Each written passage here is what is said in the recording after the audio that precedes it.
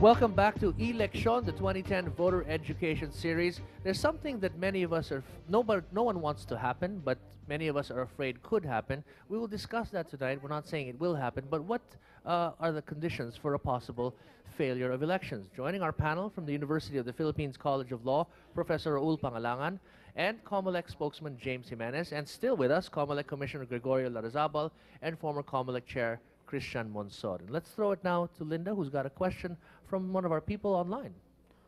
Well, I think uh, the online question is not yet ready, but um, Okay. let's start the ball rolling, Ricky. Uh, Yeah. What will it take for the COMELEC to declare a failure of election? A failure, a failure of elections really is, is, what, is what happens when you do not uh, elect anyone. You, you, don't, you don't have a winner, right? Uh, now, that's a pretty common occurrence, actually. Um, in every election that we've had since I don't know when, uh, we've had little failures of election, you know, different places, but none have ever gotten to the point that, you know, the entire thing crashed. So we've had these things, like for instance, when, when a particular precinct is flooded, or when, when BIs don't show up, voters don't show up, then you declare failures of election. Now, how do we treat that?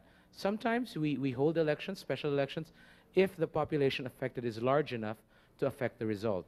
But if the population affected is, is small enough that it don't actually um, influence the outcome of the elections, then sometimes we forego the special elections. That's what, a that's what a failure of elections actually is. But in the context of automation, it appears that failure of elections has taken a more ominous uh, note. You know, people tend to oversimplify the idea and just say that you know failure of elections leads to to this and that will lead to that and that will lead to a constitutional crisis or whatever. And and um, unfortunately, it creates a, a really negative atmosphere. You know, people begin to fear in in very serious ways. But okay, we've seen failures of election that happen in relatively small segments of the voting population. Yung hindi nakakaapekto sa out sa final outcome.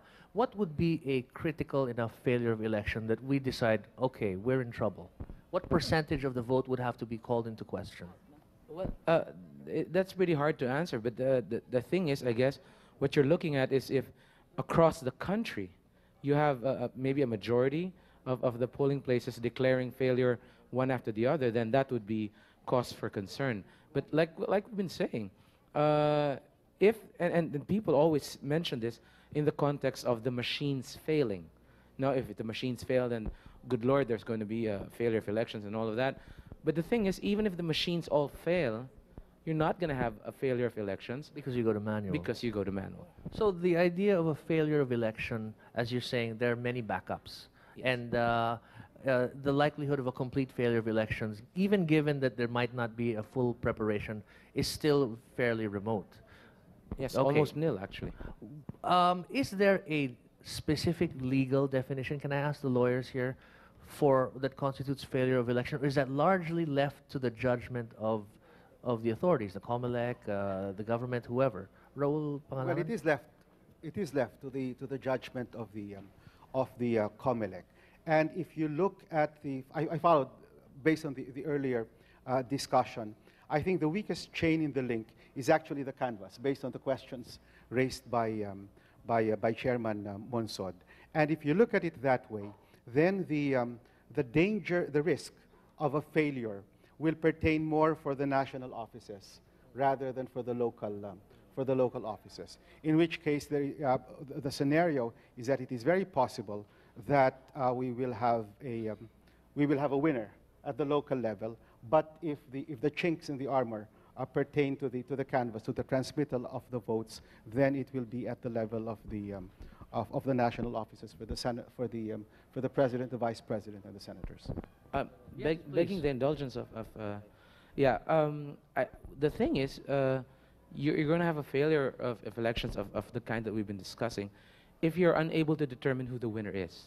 Now, if the machines fail to function for any reason, my favorite example is if the Earth opens up and swallows all the machines, and th- then you've got the nightmare scenario.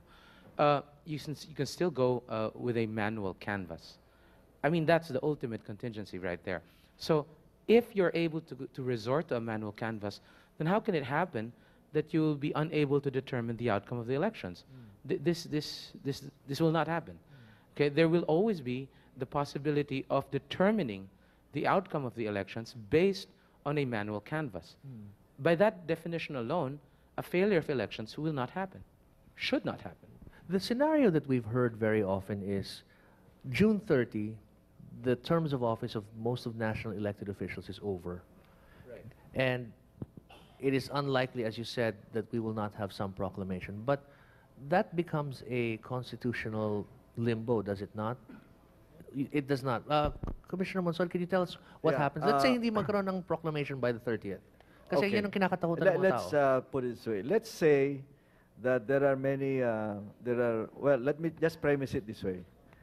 Uh, if you are assuming that there is an evil conspiracy in which uh, by the executive, the COMELEC, the Armed Forces of the Philippines, the PNP, and the Supreme Court, uh, to make uh, things happen in such a way that the present president is a holdover president. If that's your assumption, then regardless of what election you have, synchronized, uh, you have uh, automated, uh, purely manual election, under those assumptions, then you are in for a big problem, with a big problem, right? Now, I, I don't, I don't think that that's, there's, there's a case like that, where there is that vast conspiracy of evil.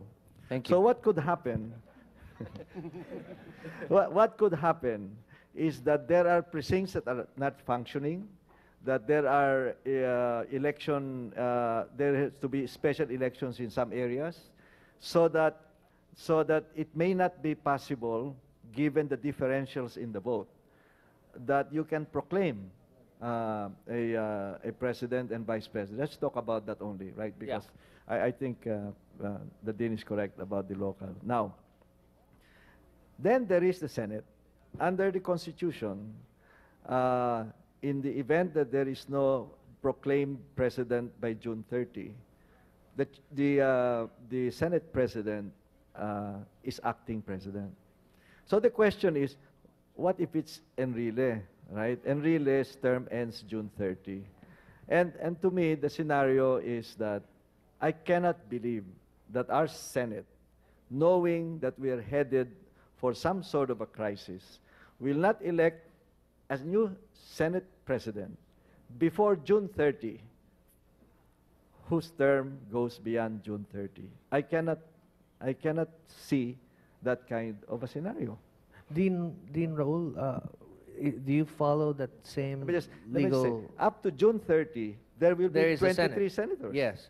Not 12, 13. There will be 23 senators up to June 30.